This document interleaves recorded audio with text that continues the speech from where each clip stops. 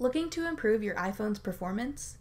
You can increase battery life, free up storage space, protect your privacy, and more simply by removing certain apps. I'm Jessica from TechBoomers.com, and in this video, I'll be telling you which apps you should delete from your iPhone. Now let's get started.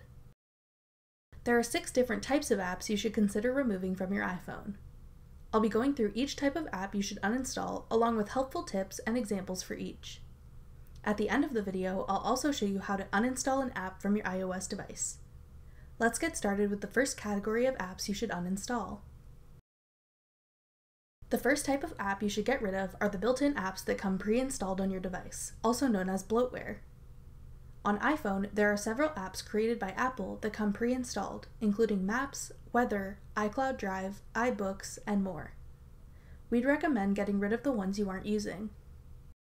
Not all pre-installed apps can be uninstalled, but you can remove many of them. A list of pre-installed apps we'd recommend deleting will be in the description box below.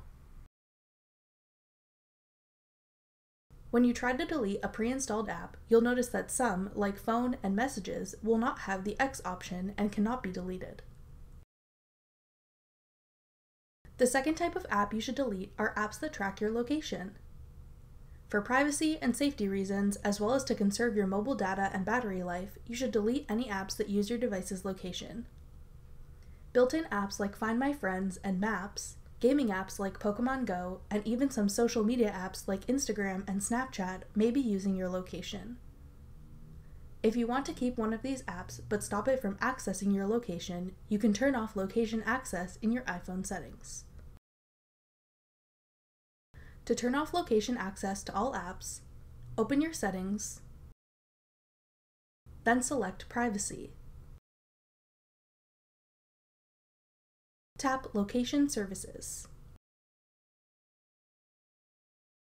Then tap the switch in the top right corner to disable location access. To confirm, tap Turn Off at the bottom.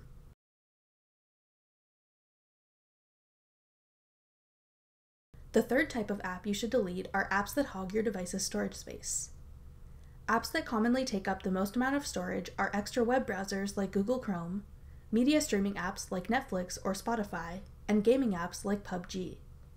You can see which apps take up the most storage space in your iPhone settings.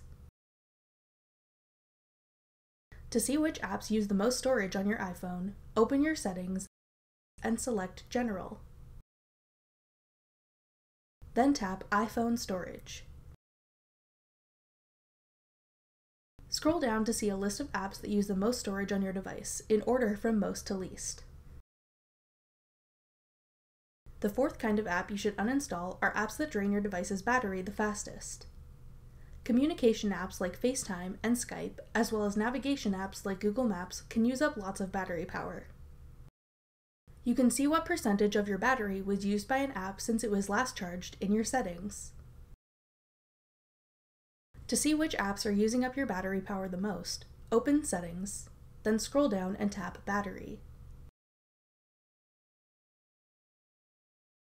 Under the Battery Usage heading, you'll see a list of the apps and features that use your battery the most, listed in order of percentage of battery used.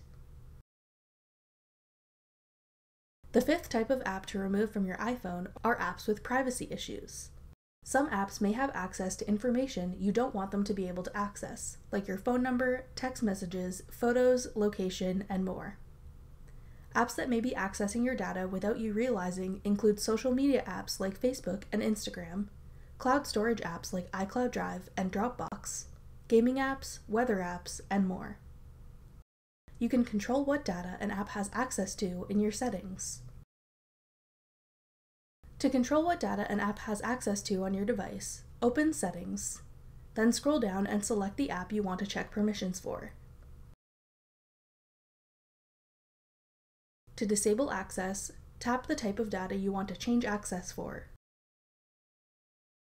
Then select Never. The last kind of apps you should get rid of are any others that you don't want, need, or use.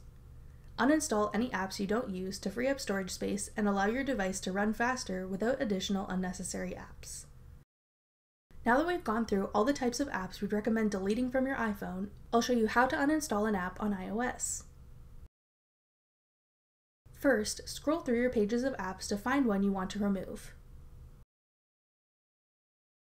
Then, tap and hold on the app icon until all the apps on your screen start shaking. Tap the X at the top left of an app you want to remove. To confirm, tap Delete in the small window that appears.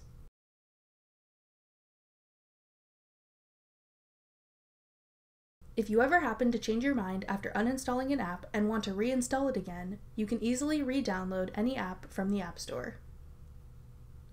That covers all the apps you should delete from your iPhone and how to remove them from your device.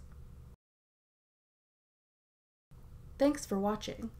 If you found this video helpful, we'd love it if you'd hit the thumbs up button below. Check out techboomers.com for over 100 free courses on all of today's most popular websites and apps.